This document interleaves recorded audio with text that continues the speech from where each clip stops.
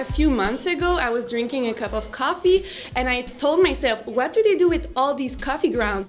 So I did a bunch of research on the internet, and then I found out that uh, coffee grounds are actually really uh, high in potassium, mm-hmm. in phosphorus, and nitrogen. So then I got the idea, like you know, I should do a business out of this. A, a pamphlet. The yeah. thing is that. And so far, we have 15 coffee shop owners that have shown a lot of interest in our company and have signed our letter of intent. So after we first presented to the judges, who happen to be our business mentors now, they actually told us that we didn't realize how big this opportunity really was. And they really encouraged us and showed us that we could expand to other cities such as New York, Toronto. It's really rewarding to have to see it in their eyes when you can bring something up about their business that can take them to the next level and they make that realization. That's probably that's that's the real aha moment.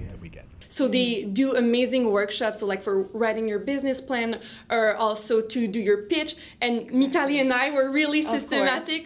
We went to all of them, and seriously, we learned so much. And all of the workshops are free. And we can even print the logo and put it. Yes, we should print the logo. So I really think it's important to follow their program because they've really laid it out in such a way that it allows you to create a solid startup company.